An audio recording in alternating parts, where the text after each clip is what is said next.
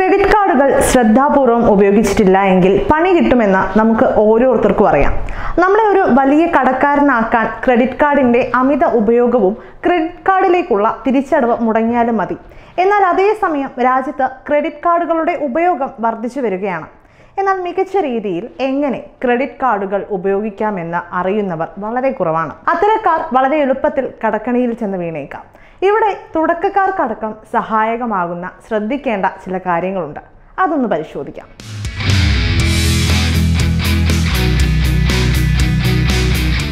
ഒന്നാമതായി auto pay സജ്ജീകരിക്കുക എന്നതാണ്. എന്ന് വെച്ചാൽ ഒരു വ്യക്തിയുടെ ക്രെഡിറ്റ് സ്കോർ അഥവാ സിബിൽ സ്കോർ തീരുമാനിക്കുന്നതിൽ പ്രധാന ഘടകം അയാളുടെ പേയ്മെന്റ് ചിത്രം തന്നെയാണ്. ബില്ലുകൾ തീയതി തെറ്റാതെ അടയ്ക്കുന്നതിനായി ക്രെഡിറ്റ് കാർഡുകൾ ഓട്ടോ പേയ്മെന്റ് സേവ് ചെയ്ത് വെക്കാവുന്നതാണ്.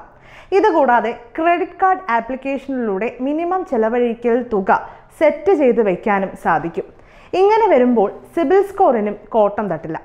രണ്ടാമതായി ക്രെഡിറ്റ് കാർഡുകൾ ഡെബിറ്റ് കാർഡുകൾ എന്നതുപോലെ ഉപയോഗിക്കുക എന്നതാണ്. കടമായി പണമെടുക്കുക എന്നതിന് മാത്രം ക്രെഡിറ്റ് കാർഡുകൾ ഉപയോഗിക്കുന്നത് കൊണ്ട് പ്രത്യേകിച്ച് നേട്ടമൊന്നുമില്ല. തിരിച്ചടവ് തെറ്റിയാൽ ഭീമമായ പലിശയാണ് ഈടാക്കുക. ഇവിടെ യഥാർത്ഥത്തിൽ നിങ്ങളുടെ ബാങ്ക് അക്കൗണ്ടുകളിലുള്ള പണത്തിന് തുല്യമായ ചിലവഴിക്കൽ നടത്താൻ ശ്രദ്ധിക്കണം. അനാവശ്യ ചെലവുകൾ കടക്കിണി തുടങ്ങിയവ ഇതിലൂടെ ഒഴിവാക്കാൻ സാധിക്കും. പ്ലാൻ ചെയ്ത പർച്ചേസുകൾ മാത്രം നടത്താൻ ശ്രദ്ധിക്കേണ്ടത് ഇവിടെ വലിയ കാര്യമാണ്. ഒപ്പം തന്നെ പ്രതിമാസ ബജറ്റ് തയ്യാറാക്കുകയും ചെയ്താൽ മികച്ച രീതിയിൽ ക്രെഡിറ്റ് കാർഡുകൾ ഉപയോഗിക്കാൻ സഹായിക്കും. മൂന്ന് ക്രെഡിറ്റ് യൂട്ടിലൈസേഷൻ അനുപാതം മുപ്പത് ശതമാനത്തിൽ താഴെ നിർത്തുക എന്നതാണ്. എന്ന് വെച്ചാൽ ഒരു വ്യക്തിക്ക് ക്രെഡിറ്റ് കാർഡിലൂടെ ലഭിച്ചിരിക്കുന്ന പരിധി മുഴുവനായി വിനിയോഗിക്കുന്നത് ക്രെഡിറ്റ് സ്കോറിനെ ദോഷകരമായി ബാധിക്കും. ഇവിടെ ലഭ്യമായ പരിധിയുടെ പത്ത് ശതമാനം വരെ ഉപയോഗിക്കാൻ ശ്രമിക്കാം. പരമാവധി മുപ്പത് ശതമാനം വരെ തുക ഉപയോഗിച്ചാൽ ക്രെഡിറ്റ് സ്കോർ കുറയാതെ നിൽക്കും. ഒന്നിലധികം ക്രെഡിറ്റ് കാർഡുകൾ ഉള്ളവർക്ക് പല കാർഡുകളിലായി ചിലവഴിക്കലുകൾ നടത്തുന്നത് ക്രെഡിറ്റ് യൂട്ടിലൈസേഷൻ അനുപാതം താഴെ നിൽക്കാൻ സഹായകമാണ്. നാല് റിവാർഡുകൾ ഫലപ്രദമായി ഉപയോഗിക്കുക എന്നതാണ്.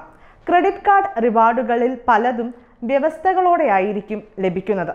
ഇവ മനസ്സിലാക്കി മാത്രം റിവാർഡുകൾ ഉപയോഗപ്പെടുത്തുക. അനാവശ്യ പർച്ചേസുകളിലേക്ക് ചെറിയ ലാഭം പ്രതീക്ഷിച്ച് പോകുന്നത് സാമ്പത്തികമായി ബുദ്ധിയല്ല. ക്രെഡിറ്റ് കാർഡ് റിവാർഡ് പോയിന്റുകൾക്ക് എക്സ്പയറി ഡേറ്റ് ഉണ്ടെങ്കിൽ അവയും അറിഞ്ഞിരിക്കണം. ഇത്തരത്തിൽ നാല് പ്രധാനപ്പെട്ട കാര്യങ്ങൾ ശ്രദ്ധിക്കുകയാണ് എങ്കിൽ മികച്ച രീതിയിൽ നമ്മുടെ കയ്യിലുള്ള ക്രെഡിറ്റ് കാർഡുകൾ ഉപയോഗിക്കാൻ സാധിക്കും. മാത്രവുമല്ല അമിതമായ ക്രെഡിറ്റ് കാർഡ് ഉപയോഗം വഴി ഉണ്ടാകാനിടയുള്ള കടക്കെണി ഇല്ലാതാവുകയും ഇത് നമ്മെ സഹായിക്കും